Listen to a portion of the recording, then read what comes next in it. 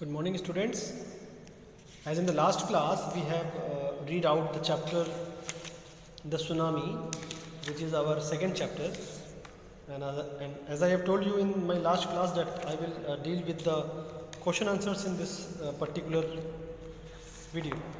So in this class we are going to deal with the exercises portion of your chapter 2 the tsunami. I am sharing the question answers with you and you need to write it in your notebook obviously after writing the word meanings. So let's see what you should write. There are actually uh, six questions given. The first is discuss the following questions in class then write your own answers.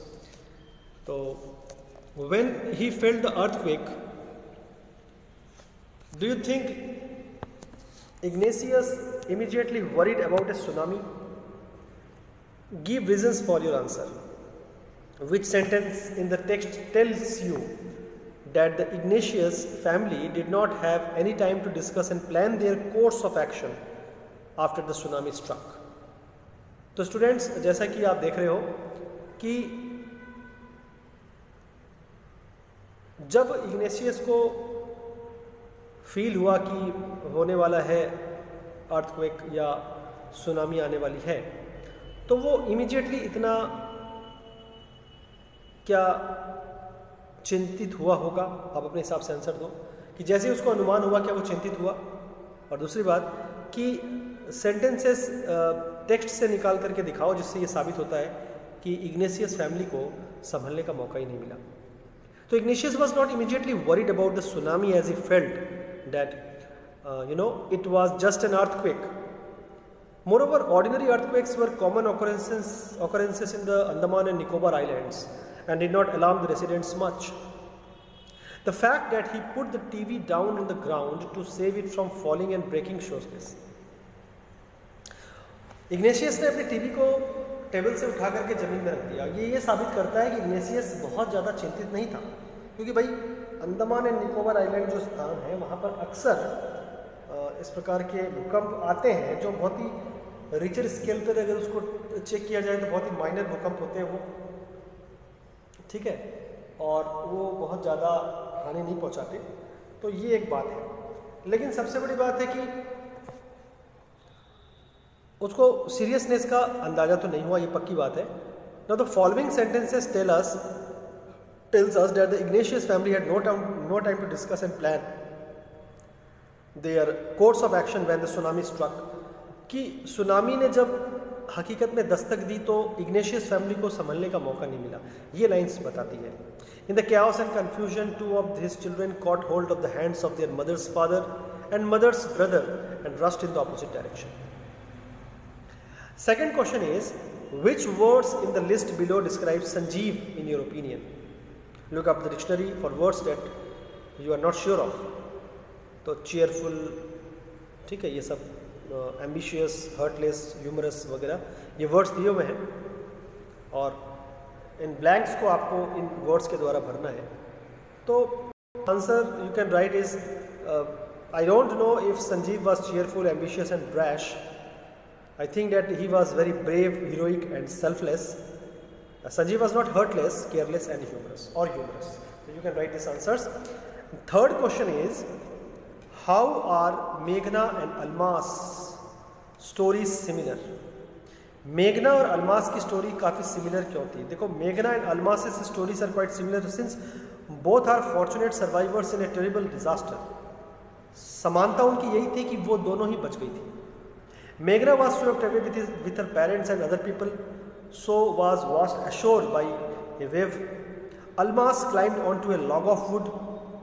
When she woke up, she found herself in a hospital in Kamorta. दोनों ही बाल बाल बची थी tsunami से। तो इसलिए इस हिसाब से दोनों का जो कहानी है वो लगभग एक जैसी है। ठीक है। ना फोर्थ क्वेश्चन इज़ जैसा कि आप स्क्रीन में देख पाओगे फोर्थ क्वेश्चन जो है ये third question नो सेकेंड और थर्ड क्वेश्चन मैं आपके साथ अभी शेयर कर रहा हूँ after you can write this question answers from the video in your notebook and uh, now let's deal with the fourth number of question uh, what are the different ways in which Tilly's parents could have reacted to her behavior what would you have done if you were in their place Tilly के parents ने उसके behaviour के बारे में कैसे react किया? और आप उस जगह होते तो क्या करते? तो Tilly's parents could have ignored her all together and told her not to act in such way away to scare the other people unnecessarily They could also have thought that Tilly was frightened much and taken her a away from the shore. Anyway, they took the right decision in heeding her warning and going to a safer place. I would have probably done the same because children mostly have more heightened, heightened senses than adults. तो Tilly ने अपने माता पिता को जो समझाया था उसके पेरेंट्स उसको मना कर सकते थे लेकिन टिली का जो ज्ञान था उसके जोग्राफी की जोग्राफी टीचर के द्वारा वो उसके काम आया और उसके पेरेंट्स ने उसकी बात मानी और सब बच गए मैं भी अगर होता तो ऐसा ही करता आमतौर पर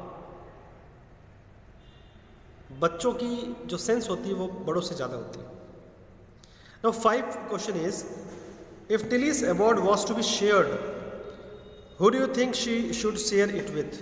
Her parents or her geography teacher? It is very clear that Tilly's award should be shared with her geography teacher because it was due to his or her efforts that she could know about the early signs of a coming tsunami.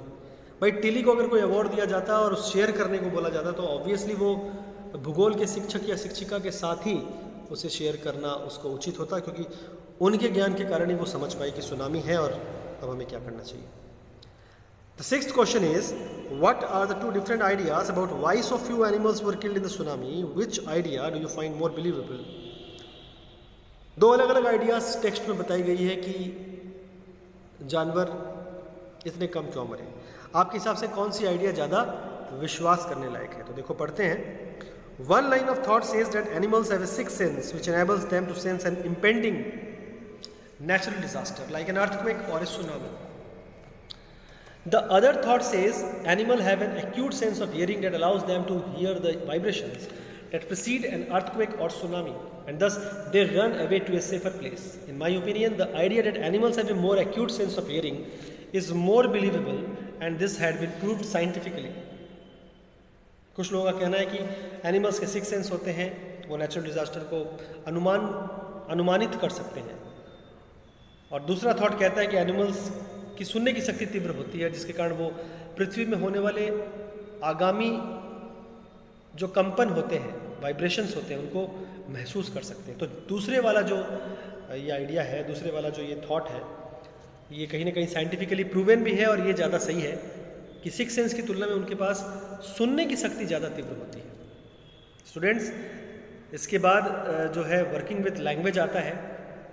मैं चाहूँ तो working with language को आपके साथ you know answer share करके आपको करवा सकता हूँ but it should not be the most fitted way of teaching the working with language portion language portion जो है, वो अक्सर थोड़ा बहुत वर्बली अगर हम लोग डील करते हैं, थोड़ा डिस्कस करते हैं तो वो दिमाग में ज़्यादा बैठता है। अगर मैं सिंपली आपको आंसर लिखा दूँगा तो शायद आपको उतना समझ में नहीं आएगा। तो I am not dealing with working with language right now working with language को मैं फ़िलहाल छोड़ देता हूँ, और आपको कोई होमवर्क भी नहीं है इसका। वर्किंग विथ लैंग्वेज फ़िलहाल वो नहीं करना है। ऑफलाइन क्लास जब शुरू होगी तब हम लोग करेंगे। हाँ एक बात ज़रूर है, ये स्पीकिंग एंड राइटिंग पोर्शन में number two is your homework मैं पिक्चर शेयर नहीं कर रहा हूँ, लेकिन आप अपनी टेक्स्ट बुक या जो भी बुक आपके पास आप देखो। उसमें आप देख सकते हो कि क्वेश्चन टू है स्पीकिंग एंड राइटिंग में। The story shows how a little girl saved the life of many tourist where a tsunami struck the beach thanks to the geography lesson that she had learn at school So remember the visuals of a tsunami and warned her parents. Do you remember any incident when something that you learned in the classroom helped you in some way outside the classroom? Write your experiences in a in a paragraph of about 90 to 100 words or narrate it to the whole class like an anecdote. जिस प्रकार से इस हमारे textual कहानी में हमने ये पढ़ा कि आ, किसी एक बच्ची को ठीक है, जिसका नाम टिली था, उसको अपने जोग्राफी टीचर के द्वारा पढ़ाई गई। वो बात याद रही कि सुनामी जब आती है तो कैसा होता है, कैसा नज़ारा होता है। तो उसने उस हिसाब से प्रिकॉशन लिया और अपने घर वालों को बचा लिया। क्या आपको ऐसा कुछ याद आता है? जब आपने कुछ स्कूल में ऐसा पढ़ा हो, फिर कुछ नेचुरली ऐसा हुआ हो जिसके कारण आप पहले से प्रिकॉशन लेकर के बचा पाए हो तो उस बारे में आप जो है, वो कोई भी नज़ारा हो सकता है, वो किसी एनिमल से रिलेटेड हो सकता है, वो किसी जो है नेचुरल डिज़ास्टर हो सकता है अर्थक्वेक हो सकता है फ्लड हो सकता है, किसी जानवर का कुछ अजीबोगरीबार हो सकता है एनीथिंग तो this is your homework number two speaking and writing portion which I am not sharing in the picture right now वो आपका होमवर्क है, आप उसको घर से करके लाना और नोटबुक में ही आपको पढ़ना है। और हाँ एक बात और याद रखना स्टूडेंट्स मैंने व्हाट्सएप ग्रुप में भी शेयर किया you need to submit your notebooks positively on every Wednesday and Saturday हर बुधवार और हर शनिवार को आपको नोटबुक सबमिट करना है, क्योंकि नाइन से ट्वेल्व का एक टाइम रखा गया है, जिसमें आप लोग अपनी नोटबुक सबमिट करोगे। हर एक सब्जेक्ट्स की रिलेटेड टीचर आपको फ़ोन भी कर सकते हैं। ठीक है, उनका फ़ोन जब भी आए, लेकिन आपकी ज़िम्मेदारी ये बनती है कि हर बुधवार और हर शनिवार को जो ये दो दिन अलॉट किए गए हैं, आप नोटबुक को स्कूल में सबमिट करोगे। ठीक है? तो अब जो है, हम लोग आगे बढ़ते हैं। अब मैं सोच रहा था कि आपसे मैं एक, जो नेक्स्ट आपका पोएम चैप्टर है which is geography lesson written by Zulfikar Ghosh. तो ये लेसन जो है हम लोग शुरू करते हैं थोड़ा सा स्टार्टिंग करते हैं अगर पॉसिबल हुआ तो इसको आज कंप्लीट करेंगे अदरवाइज़ नेक्स्ट क्लास में तो geography lesson is a poem written by Zulfikar Ghosh and let's start the poem and before starting the poem let's read out what has been written in the box. Can you imagine what your city would look like if you saw it from 10,000 feet above the ground? neatly planned and perfect in proportion like a geometric design. It would strike you as something very different from what it actually is while you are in the thick of it. Here is a poet's description of just such a view of the city and some questions that come to his mind. Zulfikar Ghosh ने जो poem लिखी है geography लेशन ये इस बारे में है कि मान लो आप अपने शहर को दस हज़ार फीट की ऊंचाई से अगर देखते हो हेलीकॉप्टर के थ्रू, ठीक है तो वो आपको कैसा नज़र आएगा? एक बहुत ही अलग ज्योमेट्रिकल डिज़ाइन में आपको वो अपना शहर नज़र आएगा। बहुत ही अलग। एकदम जैसे कि कोई ड्राइंग बनाया है, ऐसा नज़र आएगा। कोई ज्योमेट्रिक की डिज़ाइन बनाया है अलग अलग प्रकार के triangles square circle you know rectangles rhombus इस प्रकार का शेप आपको नज़र आएगा, अगर आप लगभग दस हज़ार फीट की ऊंचाई से अपने शहर को देखते हो तो। तो इस पोएम में हम लोग यही पढ़ने वाले हैं, क्योंकि हम लोग जब एक्चुअली अपने शहर को देखते हैं तो वो हमें अलग ही नज़र आता है, और हम एक दिशा में खड़े होकर के दूसरी दिशा के बारे में देख भी नहीं पाते। अगर आप नॉर्दर्न साइड में खड़े हो तो इमीडिएट इफ़ेक्ट के साथ आप ईस्टर्न साइड वेस्टर्न साइड नहीं देख सकते साउदर्न साइड नहीं देख सकते। क्योंकि आप एक पर्टिकुलर स्थान में हो और और आपके चारों तरफ़ पेड़ पौधे हैं हायर बिल्डिंग्स हैं, जो कि दूर देखने की जो आपकी एबिलिटी थी उसको ख़त्म करते हैं। आप दूर नहीं देख सकते due to so many blockages लेकिन अगर आप अगर ऊंचाई से देखते हो तो वो ब्लॉकेजेस खत्म हो जाते हैं। वो बिल्डिंग्स वो चारों तरफ़ के पेड़, वो अलग अलग प्रकार की यू नो स्ट्रक्चर्स जो आपको दूर दूर देखने में बाधा दे रही है, वो ख़त्म हो जाती है। तो हाइट से हमें पूरा नज़ारा एक साथ दिखाई देता है और एक एक, एक अलग ही नज़ारा दिखाई देता है तो इस पोएम में हम लोग ऐसा ही कुछ पढ़ने वाले हैं कि किस तरह से अगर अपने शहर को काफ़ी ऊंचाई से देखा जाता है तो कैसा अलग नज़ारा देखने को मिलता है ये इस पोएम में हम पढ़ने वाले हैं When the jet sprang into the sky, it was clear with why the city had developed the way it had. Seeing it scaled six inches to the mile, there seemed an inevitability about what on ground had looked haphazard. Unplanned and without style when the jet sprang into the sky.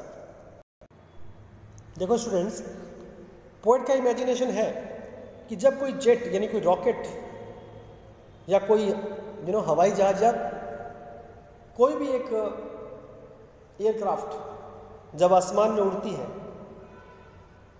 काफ़ी काफ़ी ऊंचाई तक जाती है, लगभग छः inch जो actually map में शो किया जाता है। मैप की लगभग छः इंच, जो कि लगभग एक माइल शो करता है। उतनी ऊंचाई पर, बहुत बहुत ऊंचाई पर जब कोई एयरक्राफ्ट जाता है और एक शहर के ऊपर जाकर के जब उस शहर को उस एयरक्राफ्ट में बैठे हुए लोग नीचे देखते हैं तो ग्राउंड में रहते वक्त जो शहर अनऑर्गेनाइज्ड लगा था। अनऑर्गेनाइज्ड का मतलब अनप्लैंड हैपाजर्ड का मतलब अनऑर्गेनाइज्ड अनप्लैंड का मतलब which is not planned you know pattern जो आसमान का पैटर्न है, कहने का मतलब जो आपके शहर का पैटर्न है, वो इतना अनऑर्गेनाइज्ड बेतरतीब लगता था, ज़मीन में रहते वक्त, वो आसमान में जाने के बाद कुछ अलग ही उसका नज़ारा देखने को मिलता है। When the jet reached 10,000 feet, it was clear why the country had cities where the rivers ran and why the valleys were populated.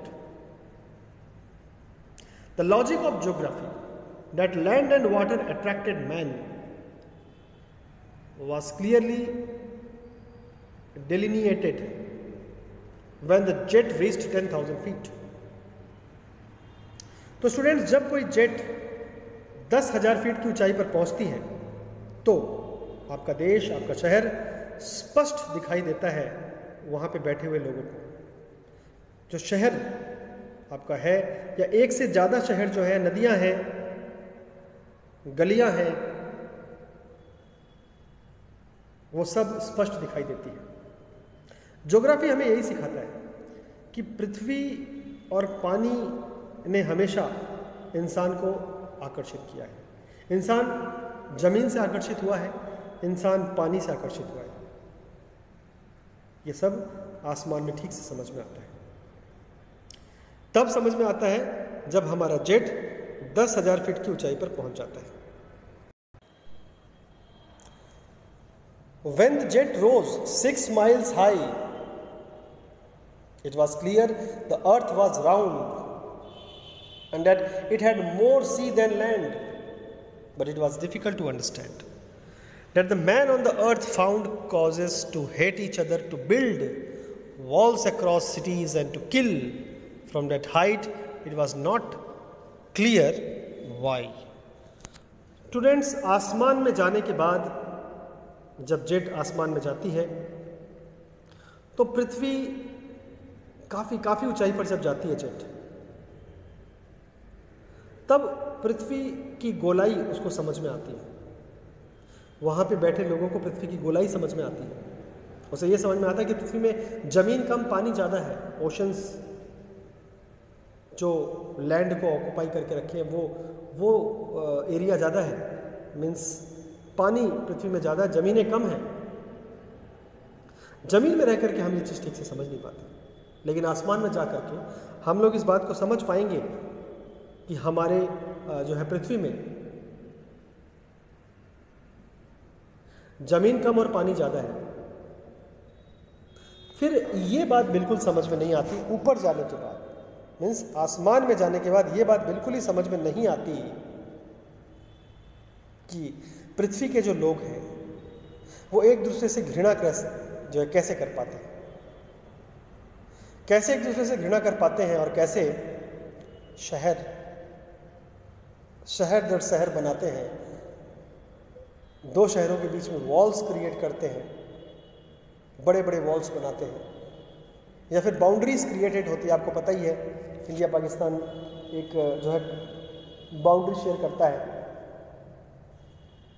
हमारे जो सीमा है, जहाँ पर सैनिक खड़े होते हैं, वहाँ पर इंडिया पाकिस्तान एक बाउंड्री शेयर करता है। इंडिया चाइना एक बाउंड्री शेयर करता है। हर एक कंट्री एक दूसरे कंट्री से एक बॉर्डर शेयर करता है। तो कहीं ना कहीं पोएट को ये समझ में नहीं आ रहा है। पोएट जुल्फ़िकार घोष ये कहना चाह रहे हैं कि इंसान पृथ्वी पर देख करके ये हमें पता चलता है कि आसमान में जाकर के हमें सब पता चलता है कि पृथ्वी गोल है, ज़मीन बहुत कम मात्रा में है और पानी ज़्यादा मात्रा में पृथ्वी पे है। और इंसान तो ज़मीन में ही रहते हैं। यानी कि पृथ्वी में इंसानों की जो ऑक्यूपेंसी है। वो पानी की तुलना में तो बहुत कम है। फिर इतनी थोड़ी सी शक्तियाँ होने के बाद इंसान के अंदर एक दूसरे से घृणा करने का जज्बा कैसे आता है? तो कैसे कोई इंसान एक दूसरे को मार पाता है? आसमान में जाकर के ये बात बिल्कुल ही समझ में नहीं आती। कि इंसान एक दूसरे को मारने की, मारने का मन कैसे बनाता है? या कैसे वो मार पाता है?